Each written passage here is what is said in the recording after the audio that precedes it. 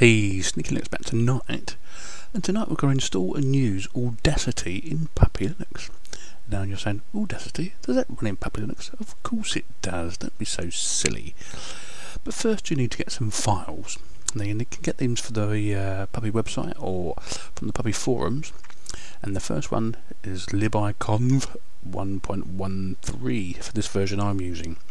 Now it doesn't mean you have to convert to a faith, but it is a lib, okay? So keep it real, you know what I'm saying? You click OK to install. It updates. No problem, look at that. Nice and quick. So he says, but it updates.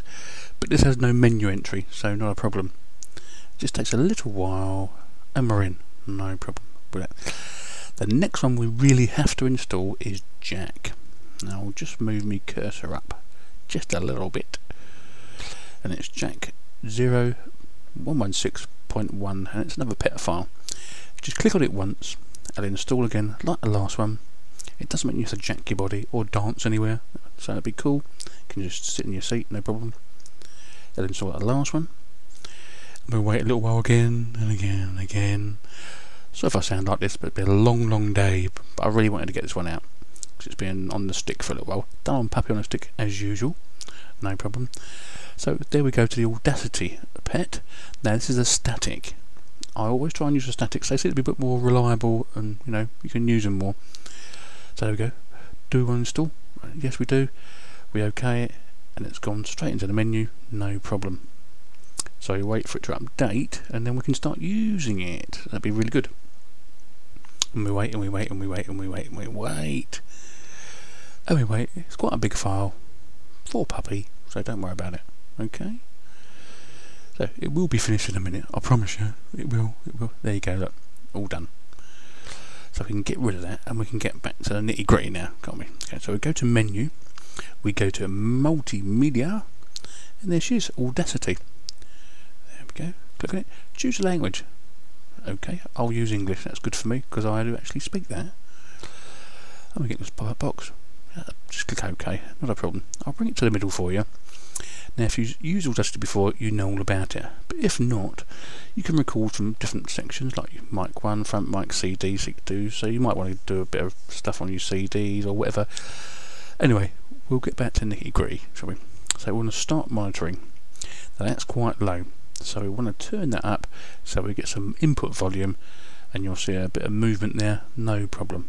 Can you see what I'm saying? There it goes, look. Easy. Some puppy users said this doesn't actually work, but I've never had actually had a problem with it once I've got all the extras put in, which is them two I've showed you, for this particular static. Now all I'm doing here, I've got the microphone and I'm just tapping it and so it's got you know oblique pictures there and oblique noises. No problem. I'm going to play it back now. So we click play if the output volume is playing back and it's playing back through my speakers. As I said before, I've not actually configured for recording and get it on the thing at the same time, so I will get round to that. But it does actually do it. So what we do with that, you can actually save the project as an Audacity project, but what I'm going to do, I'm going to export it. Now if you're doing a CD, or you've done some stuff to a CD remix, or you've done some levels or whatever, you can do stuff there. But I'm not going to do that, I'm going to click OK. Go to my documents, um, I'm going to put there. It's me. I'm going to call it me. But I'm not going to save it as a WAV file. I'm going to save it as an MP3 file. So uh, I haven't got to do all that afterwards. So you click save. It will save it as an MP3 file for you. No problem. Look at that. Easy. Actually, that's even quicker than it was in Ubuntu. Weird that, isn't it, really? So, we'll go back to where we've saved it, which is in my documents. And there's the me file.